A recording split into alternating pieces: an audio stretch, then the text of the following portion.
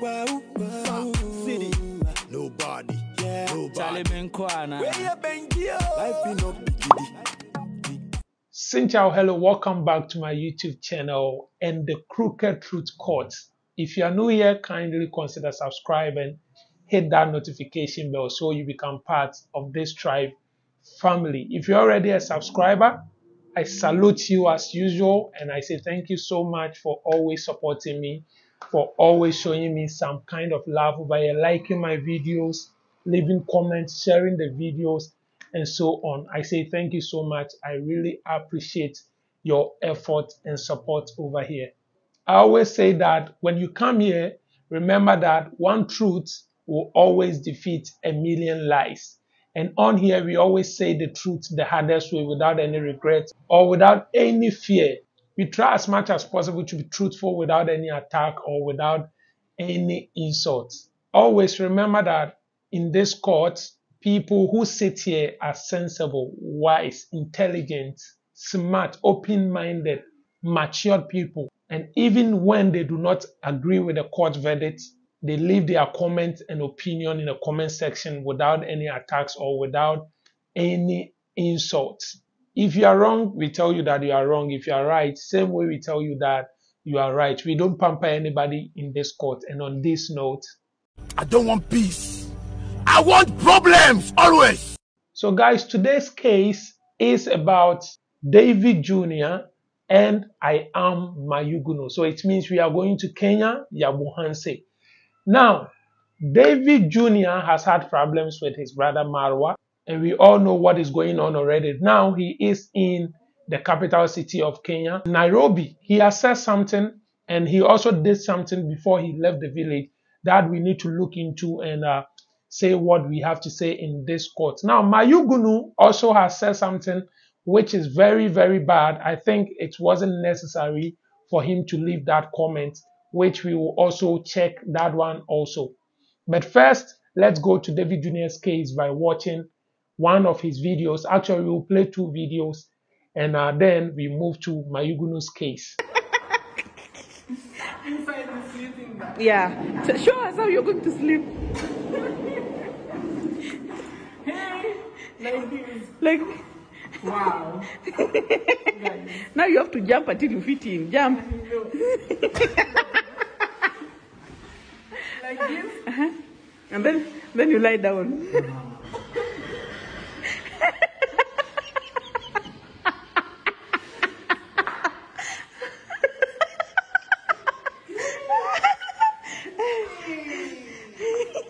Welcome to London. Welcome. to- yes. Inside the sleeping bag. Yes. For the first time. For the first time. Wow. Is it warm? Does it feel warm?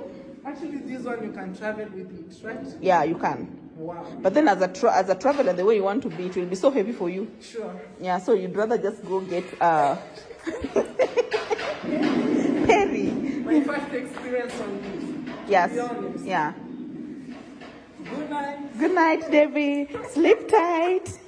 Anyway, it's a nice experience for sure. Mm-hmm. So when guests will come, they'll use them. They can also use them. Now, David Jr., this thing that he did is very disgraceful. Very disgraceful. Sultan will say, You come online, said a whole lot of things about your brother, your own brother, blood brother. Now, even if you are having issues at home, you already know that we reactors, we are always digging, digging, digging. We want something to come up so that we talk about it. You got confused.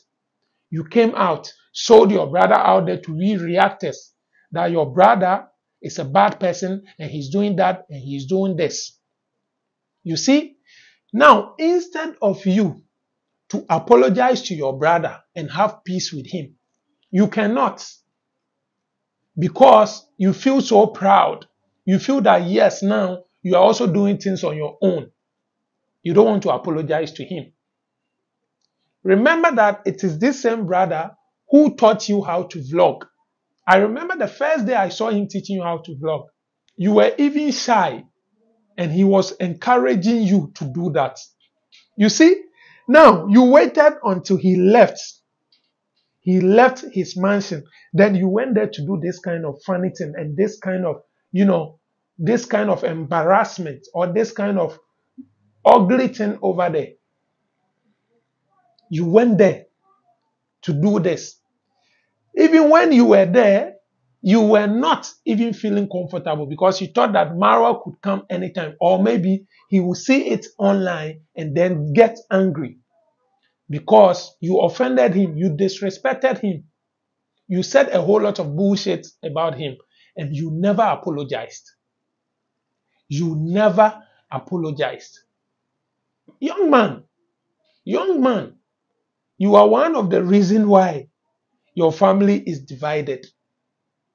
Be wise and go apologize to your elder brother and make peace with him. Go and make peace with your elder brother. We reactors, we are here. Whatever comes, we will talk about it. We will talk about things that will frustrate you and even push you to go do what you shouldn't do. Now, I even I even suspect that Marwa got angry at him when he saw that he did that. I I I, I suspect that Marwa wasn't happy. And maybe he even told him that he shouldn't come to the house. Like, just imagine if you're in good terms with your brother, he's organizing a party or whatever. You can't even be there and help him, support him do things. It is people who are outsiders that are helping him do that. Now let's watch this video too. Let's watch this. Let's watch this video too and say something about it. Guys, this is unplanned, you know, like I decided just to leave home for a period of time. I was listening to Lonely Addy talk. So I'm so excited to be here. More amazing videos are coming from uh, Nairobi, Kenya. At the same time, uh, I just came for a period of time in which I'm here to create content for you. At the same time, when time allows, I'll be going back home, you know. We have a big celebration that is coming. Liar. You have a big celebration that is coming. And you will go home and celebrate it. Listen to his words. He left the village unplanned. Like I said, I know Marwa got angry at what he did and he wasn't happy with him. It made him not feel happy in the village. If you, you observe things so well, you could see that all the people who came to the village, especially the YouTubers who came to the village, they were all looking to get something from Marwa instead of David Jr. It was like nobody recognized him. They were all giving their attention to Marwa. So he was like useless over there. He was like useless. You see? And the content was getting finished because that his project that he said he is doing, the building that he said he is doing, I'm sure it has come to a halt. So he doesn't have any content. So all he could do was to leave the village because he feels uncomfortable. He feels uncomfortable, so he had to leave. Either Marwa, Marwa confronted him. I'm very sure that Marwa confronted him and he was not happy. Now he's saying that he's looking, if time permits, if time permits, he will go back to the big party. If time permits. If truly you are invited at a party and you feel comfortable to be there, would you say that if time permits, remember it's your own brother's party and you left the village just recently to the city? You see, if you are only going for holidays, you say, Oh, I'm here for holidays and I'll come back for the party. You are not even sure because you are not invited at the party. David Jr., learn, learn, learn. Don't listen to the pressure from social media. Be a friend of your brother. You are his only brother. You need to think together. No matter how people see Marwa, he is your elderly brother and you must think together. You see, don't cause confusion between you and your brother. That will bring a whole lot in your family. It wouldn't make your mother happy. No mother wants to see the two children fighting all the time. Apologize to your brother. Apologize to him. You came online to disgrace him. You came online to disgrace him. Apologize to him. And if he doesn't accept, now the whole world can know that Marwa didn't accept your apology. This is what I'm telling you. But stop lying that you go to the party. You can't be there. You are not invited over there. Marwa is not in good terms with you. That is what I can say. Now, guys, let's go on to Mayuguno's video. Then we listen to what he said. Then we can say what we have to say. So guys, thank you so much, team. Uh, my brothers here. God will keep blessing. We are here, Nigerian, in the building. When, uh, when, are you coming to Nigeria? They, are they asked you the last time? But let me ask oh, you now. When are you you, know, coming to I, Nigeria? I, I uh, uh, my plan very soon when I start to to travel, Yes. the one of country I need to travel well in Nigeria, but I feared something. People in Nigeria. Imagine. We don't have to fear what you don't know. Those are rumors. Nigeria is one of the chilliest countries you've ever Ogada. been. Hey, Ogada on You need to- Jenje. Even Nigerians, check your analytics. Kenneth Nwachi, what Mayuguno said is not funny for you to laugh. It's not funny. It's not funny. He is disrespecting Nigerians. Now, somebody has asked you, when will you go to Nigeria? Maybe I'm not prepared. Oh, I'll go to Nigeria when the time is due. Now, why must you add that you go to Nigeria, but you are afraid of Nigerians?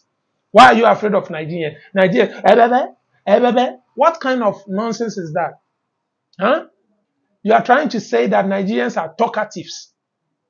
Nigerians speak a whole lot. Anything they see, they will say. Is that what you are trying to say? Can't you answer him without disrespecting Nigerians? You've never been to Nigeria. So how do you know that Nigerians, that is how they are? Why must you say that? Mayuguno. It isn't everything that you have to make fun of. Don't forget, there are Nigerians who watch your YouTube channel. Like he told you, the person who sent him to give the gift to Iam Marwa is a Nigerian and watches you. Now, saying somebody talks, talks, talks, talks, talks, it means that the person only talks about anything that they see. And you see that talk as an attack. You should have a tangible reason for things. Don't joke with things just like that. Don't say things anyhow just because you have the platform to say things. Be careful. Be careful. Nigerians watch you and they can be angry at you. You guys, you always take everything for granted. You feel that people can't just leave you. People just can't stop watching you. They will always show you love. Be careful. Be careful and do not disrespect Nigerians again. A word to a wise is enough. Anyways, guys, this is the two cases that I brought. I don't know what you think about these cases. You can also leave your comments in the comment section. Tell me your opinion. If you think Mayuguno was only making fun of Nigerians, it was just a joke or it is disrespect. And if you also think that David Jr. is under the hands of Marwa and cannot stay in the village, let us know. Let us know. This is all I came here to discuss with you guys. Don't forget to subscribe if you are new here. Hit the notification bell so you become part of the Strive family and receive a salute anytime I come back here. Also, remember that on here we always strive for glory, we strive for success, we strive for travels, we strive for the truth and anything important. Your boy Melody, and I'll see you in the next court session. Court rise. If you know make money, friends dog you. Nobody said love you. You first step up your hustle, cause one day you gonna make it. If you know make money, friends dog you. Nobody said could love you. You first step up your hustle, cause one day, cause one day. No you gotta love me now.